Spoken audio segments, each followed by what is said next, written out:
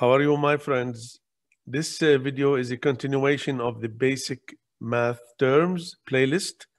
This is part 15, still in the algebra course, about transformations of functions.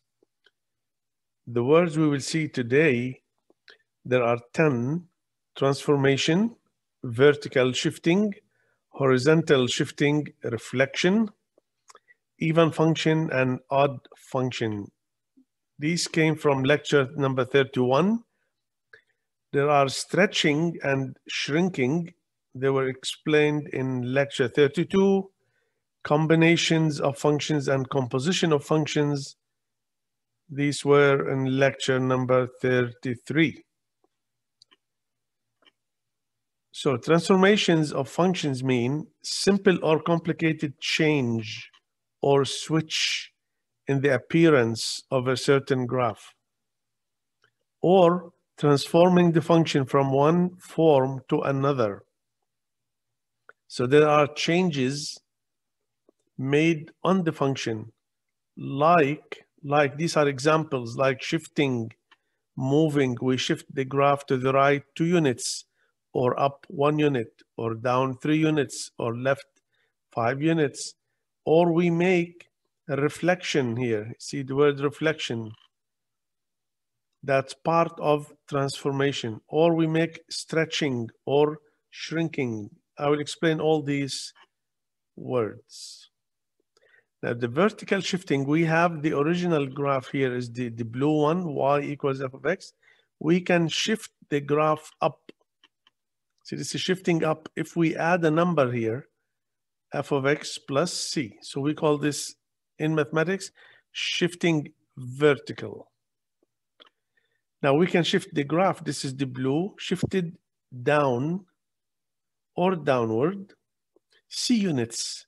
So it will be f of x minus c. We can have also horizontal, horizontal to the right and to the left. So the blue function here you see y equals f of x. If we shift to the right c units, it will be f of x minus c. So when you shift on the right, on the left, x is changing. When you shift up and down, y is changing. Same thing here, if we have f of x plus c, then the graph is shifted to the left. See the formula is also written here in these two lines. Reflecting this is not shifting, this is reflection. So we have the graph like this, y equals f of x. If there is a minus outside the function, then we say, so minus f of x. This is a reflection of the graph in the x-axis or around x-axis or about x-axis. So this is reflection in the x. And this is reflection in the y if we have instead of the x, y equals f of x, y equals f of minus x.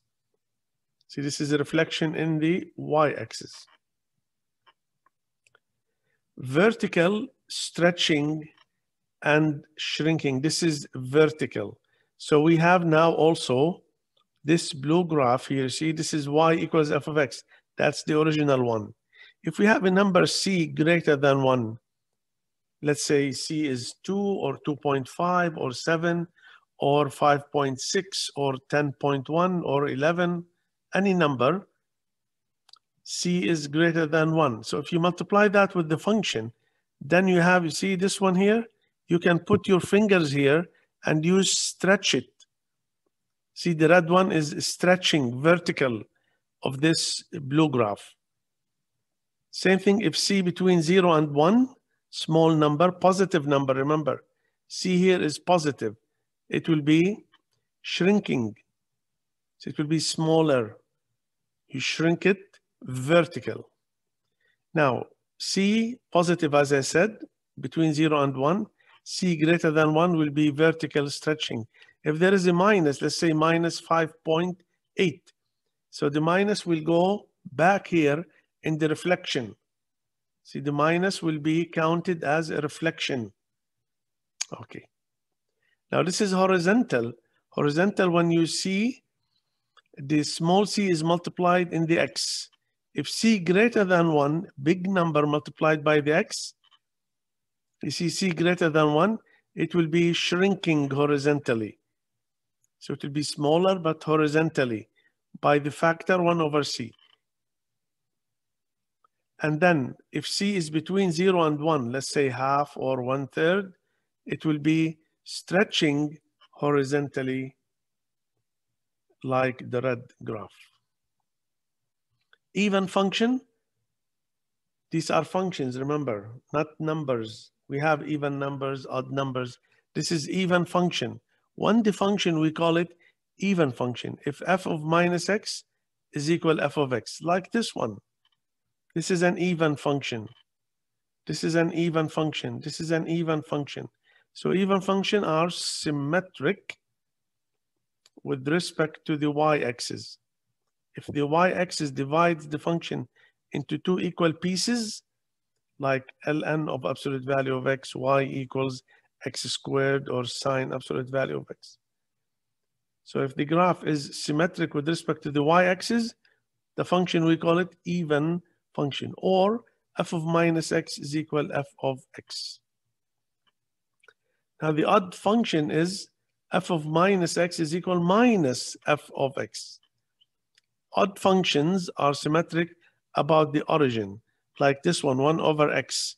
You see the graph, every point on the graph, there is another point where the origin is the midpoint. This one, f of x, x minus x cubed. This is symmetric about the origin. f of x is equal sine of x. Symmetric about the origin. Now, two important remarks about even and odd functions. Please pay attention here.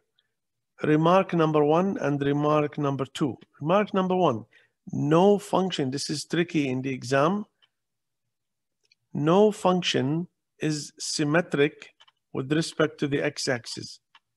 Somebody might ask you, give me any function you can think of, imagine any function symmetric with respect to the x-axis. So you start thinking, the answer will be no function is symmetric with respect to the x-axis. Why? Because if it is symmetric about the x, like this graph, like this graph, see this is symmetric about the x. It will not be a function. If we draw vertical line test, you know, we know vertical line test, it will cut the graph in two points. So this is not function. We call this relation. This is not function. Because for, for one x here, we will have two values for the y. Same thing here. x equals y squared, x equals minus square root of 4 minus y squared. The second one, if the function is not even and not odd, we just call it neither. So it is a normal function. We have many, many, many functions that they are not even and not odd. Combinations of functions, what mean by combine? We combine. See the word here in English, combine. So we can take two functions or more. In this slide, you will see here two functions, f and g, but you can take more. It's up to you. Three functions, four, five, six, seven. It's up to you. It depends on the situation. So if we have two functions here, we can add them. f plus g of x will be f of x plus g of x. So this is a combination of functions. So we can take the sum, we can take the difference, we can take the product, we can take the quotient. Quotient when we divide two functions, f over g of x will be f of x divided by g of x.